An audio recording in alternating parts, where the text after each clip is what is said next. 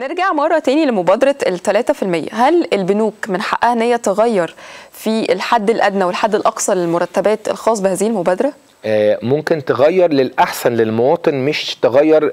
يعني في. في هيكل عام ليها إن النهارده ما ينفعش يبقى الحد الأدنى نقرب منه يعني النهارده الحد الأدنى دي 2000 ونص جدلا فأنت حضرتك لا ما ينفعش تقرب منه ممكن ترفع سقف الحد الأدنى ده علشان تاخد شريحة أكبر فأنا بقول لحضرتك هيغير فيما هو صالح المواطن يحط شرط زيادة مثلا ال I-Score بتاعي يبقى أعلى شوية أفضل شوية ما يكونش واخد قروض تانية ده وارد. لكن في أمور رئيسية لا مساس بيها زي الحد الأدنى زي الحد الأقصى لسعر الوحدة لأن في الآخر دي مبادرة بيبقى بتمويل من البنك المركزي بيمول البنوك دي لأن البنوك الهدف منها الربح.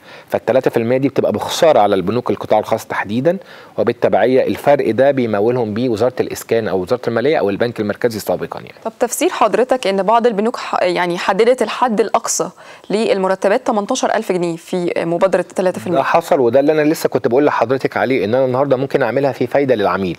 أنا عايز أستقطب شريحة أكبر وده بدعم من الحكومة. بدل ما نقول 8000 جنيه نقول 18000 فأنا النهارده الشريحة ما بين ال 8000 وال 18000 وسعنا نطاق الناس المستفيدة بالدعم. وده دعم من الحكومة طبعا وده حاجة فايدة للمواطنين إن أنا ده ما يقللش من فرصة الناس اللي هي مرتباتها أقل إن هي تحصل على فرصة أنا ما التمويل لغيتهمش أنا ما لغيتهمش. أنا ما لغيتش الحد الادنى ما أنا بقول لحضرتك إحنا نبدأ من الحد الأدنى ولا نفترض إن هو 1200 جنيه. الحد الأقصى 8000 أنا خدت من 1200 ل 8000 لما وصلنا الحد الأقصى ل 18000 فإحنا وسعنا شريحة المستفيدين بيها. فدي فايدة المواطن في الآخر يعني هو كله فايدة المواطن مش خسرين حاجة يعني. طيب عايزين نتكلم على الإجراءات بصفة عامة. الشخص بيعمل إيه علشان يحصل على شقة عن طريق مبادرة التمويل العقاري على حسب الشقة دي حضرتك لو بتتكلمي في إعلانات من إعلانات الحكومة أو الوحدات اللي تابعه لهيئه المجتمعات العمرانية فهي معروف الطريق بتاعها.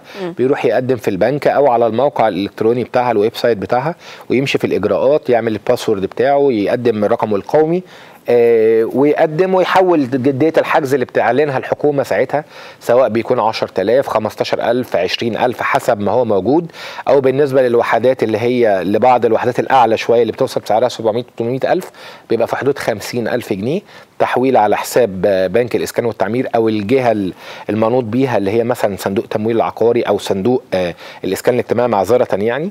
ده بيبقى الإجراء بتاعها وتبقى متأكد قبلها إن أنت حضرتك ينطبق عليك الشروط. علشان بس ما تضيعش وقتك وتحاول تزاحم ناس انت مش تبقى منهم. يعني الفكرة النهارده أنا واحد عارف إن أنا عندي قروض وعليا كريدت كارد مثلا فيزا آه. وعارف إن أنا دخلي 1000 جنيه وبيتخصم منه 400 جنيه اللي هي 40% طب أنت راح تقدم ليه؟ ما هو في الآخر هو كله خاضع للبحث عن طريق الأمن المركزي البنك المركزي.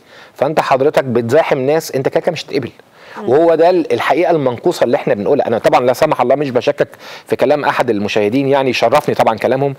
بس إحنا خلينا نبص للصورة الأكمل. هل انت النهارده عندك قروض؟